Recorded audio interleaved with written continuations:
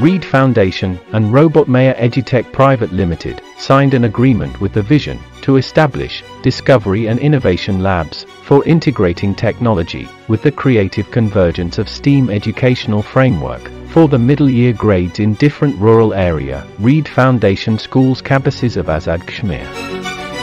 The primary focus of this flagship program is to prepare together the students by shaping their minds toward rational logic, critical thinking, sociability, collaboration, problem-solving skills and goal-driven attitude to develop the skill set required in the 21st century for transforming Pakistan towards innovation-led entrepreneurial economies.